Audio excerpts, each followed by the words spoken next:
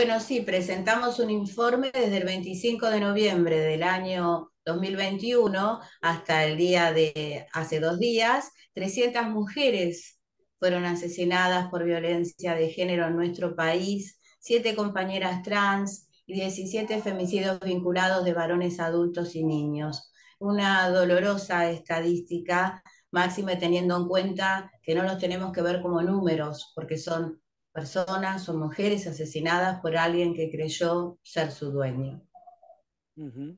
Eh, y, el, otro dato importante, y por eso justamente reforzando esto que vos decís de no es solamente un número, más allá de que por supuesto que verlo impacta, tiene que ver con la familia que queda, los hijos, las hijas que quedan sin su mamá, con las denuncias previas. A mí siempre me llama mucho la atención eso. Imagino que a ustedes también nada. Las denuncias que habían y que evidentemente nadie hizo nada porque esto cambie.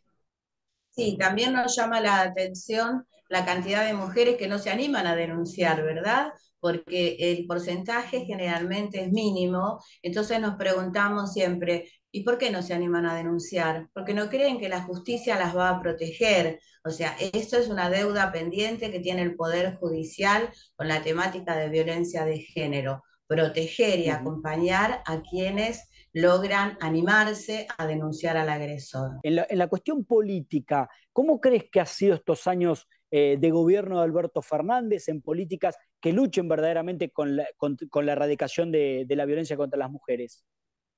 Mira, nosotras relevamos los informes desde el año 2008. O sea, del año 2008 a la actualidad han pasado distintas gestiones.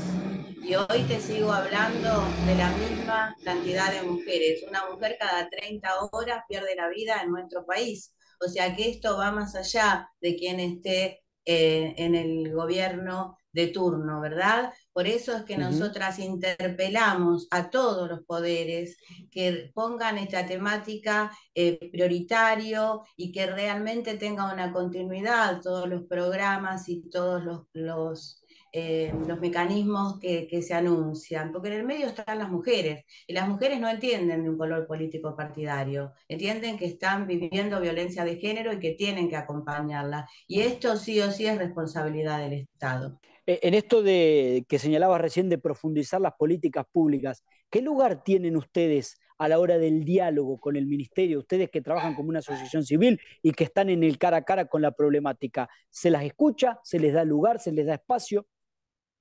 Bueno, imagino que se nos escucha tal vez de los comunicados que hacemos. Nosotras nunca hemos sido convocadas como organización civil, pero sí nos encargamos de mes tras mes subir comunicados a los Twitter arrobando a quien corresponde, en este caso al Ministerio de las Mujeres, su ministra anterior y la ministra actual, para que escuchen lo que estamos diciendo y realmente nosotras no lo decimos por nosotras, lo decimos por ellas. Entonces, ese es el diálogo que tenemos en la actualidad. Me imagino que nos leen, imagino que toman lo que está diciendo la sociedad civil en cuanto a sus reclamos.